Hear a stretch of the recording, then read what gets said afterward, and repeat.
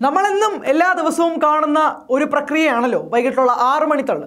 മുഖ്യമന്ത്രി ഇന്നലെ ചെയ്തതും നമ്മൾ കണ്ടതാണ്. ആറേ മുക്കാൽ വരെ കോവിഡിന്റെ കണക്ക് ഇങ്ങനെ പയ്യെ വലിച്ചു നീട്ടുക.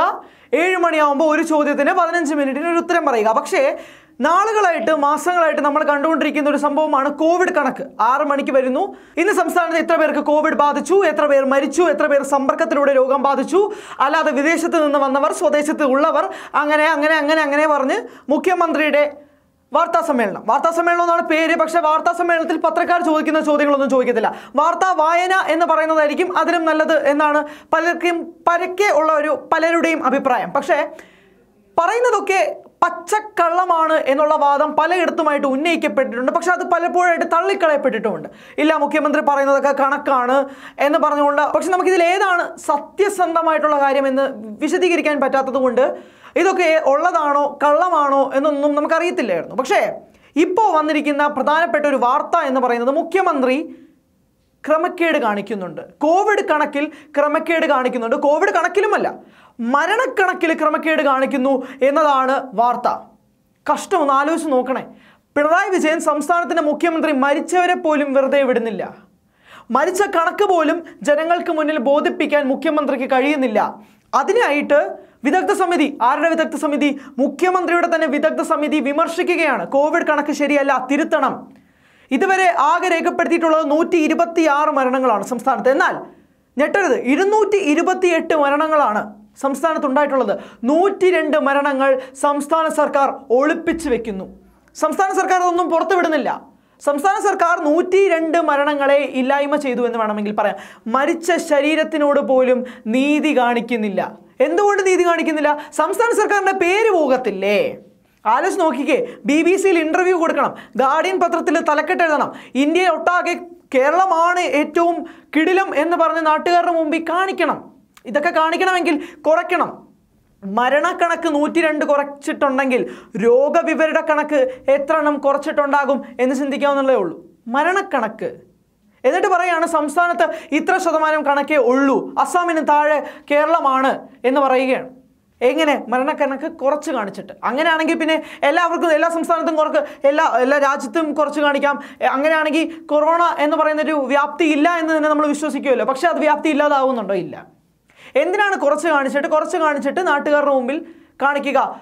പിണറായി സർക്കാർ ഇത്രയും ചെയ്തു. പിണറായി സർക്കാർ രാജ്യത്ത് രണ്ടാം സ്ഥാനത്താണ് മരണനിരക്കിൽ. പോയിന്റ് എത്രയേ ഉള്ളൂ? അത്രയുമേ ഉള്ളൂ. കേരളമാണ് ബഹുകിടിലം. കൊറോണ ആദ്യമായി വന്നത് കേരളത്തിലാണ്. പക്ഷേ എന്നിട്ടും കേരളം പ്രതിവിധിച്ചു. കേരളം അതിജീവിച്ചു.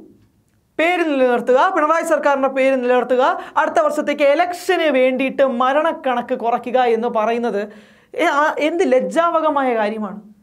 അങ്ങനെ എത്ര ജീവിതം വെച്ചാണ് കളിക്കുന്നതെന്നും കൂടി ആലോചിച്ച് നോക്കണം. കണക്കുകൾ പുറത്തു വന്നതാണ്. ഇരുന്നൂറ്റി ഇരുപത്തിയെട്ട് മരണങ്ങളാണ് സംസ്ഥാനത്തുള്ളത്. നൂറ്റി രണ്ട് മരണങ്ങൾ പിണറായി സർക്കാർ ഒളിപ്പിച്ചു വെച്ചു.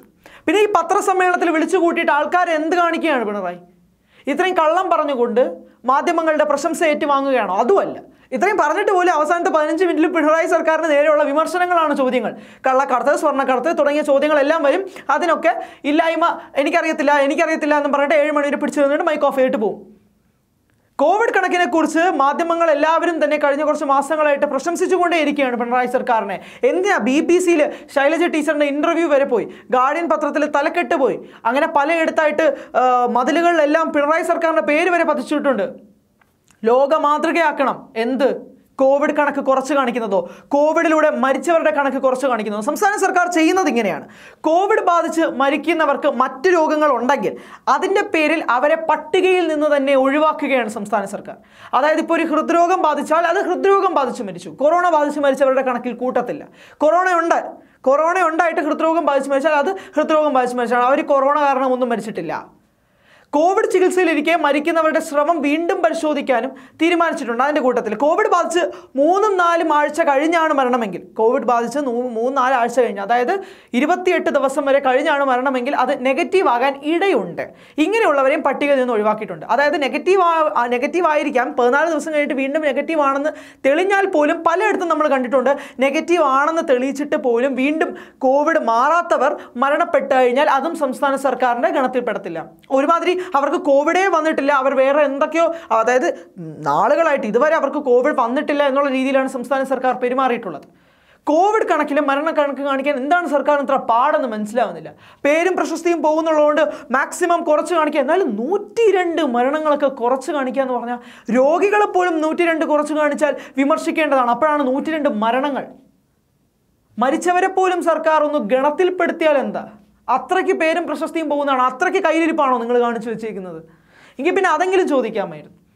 അത്രയും മരണക്കണക്ക് ഒളിപ്പിച്ച് വെച്ചിട്ട് ഒരു ഉളുപ്പുമില്ലാതെ ആറ് മണിക്ക് വന്നിരുന്ന് കോവിഡ് കണക്ക് എങ്ങനെയാണ് പറയാൻ കഴിയുന്നതെന്ന് മനസ്സിലാവുന്നില്ല. ആരോഗ്യമന്ത്രി ഇവിടെ ഇരിപ്പുണ്ട്. ആരോഗ്യമന്ത്രി വാ തുറക്കത്തില്ല. പിണറായി വിജയനാണ് എല്ലാ ദിവസവും വന്നിട്ട് കോവിഡ് കണക്ക് പറയുന്നത്. കോവിഡ് കണക്ക് പറയുന്നത് പച്ചക്കള്ളങ്ങളും വിദഗ്ധ സമിതി തന്നെയാണ് പറയുന്നത്. സ്വന്തം വിദഗ്ധ സമിതി തന്നെ വിമർശിച്ച് കാണിക്കുന്നുമുണ്ട്. അപ്പോൾ ഇങ്ങനെയൊക്കെ ചെയ്ത് ഇത്രയൊക്കെ കള്ളത്തരങ്ങളും വ്യാജ പ്രചരണങ്ങളും പറയുന്ന ഒരു നുണയനായ മുഖ്യമന്ത്രിയാണോ നമുക്ക് കിട്ടിയിട്ടുള്ളത്? എന്ത് ചോദിച്ചാലും എനിക്കറിയില്ല എനിക്കറിയില്ല എന്ന് പറയുന്ന ഒരു മുഖ്യമന്ത്രിയാണോ? കോവിഡ് മരണക്കണക്ക് എനിക്കറിയില്ല എനിക്ക് തന്നിരിക്കുന്ന പേപ്പറല്ലേ ഞാൻ അതി നോക്കിയല്ലേ വായിക്കത്തുള്ളൂ. ഇത്രയും ക്രമക്കേടുകളുണ്ട്. സ്വന്തമായിട്ട് ആറു മണിക്ക് എല്ലാ ദിവസവും ഞാൻ എല്ലാ ദിവസവും പത്രസമ്മേളനം നടത്തുന്നുണ്ട് എന്ന് പറഞ്ഞ് അഭിമാനിക്കുന്ന മുഖ്യമന്ത്രി പോലും വന്നിരുന്ന് പറയുന്നത് വ്യാജ കണക്കുകളാണ്. ഇത് ജനങ്ങൾ അറിയേണ്ടതല്ലേ? നൂറ്റി രണ്ട് മരണങ്ങൾ ഒളിപ്പിച്ചു വെക്കുക എന്ന് പറയുന്നത് ക്രമക്കേട് തന്നെയാണ് കുറ്റം തന്നെയാണ്. അത് ജനങ്ങൾ അറിയണം. പിണറായി സർക്കാരിന്റെ ഈ ക്രമക്കേടുകൾ വെച്ചു പൊറപ്പിക്കാൻ കഴിയുന്നതല്ല.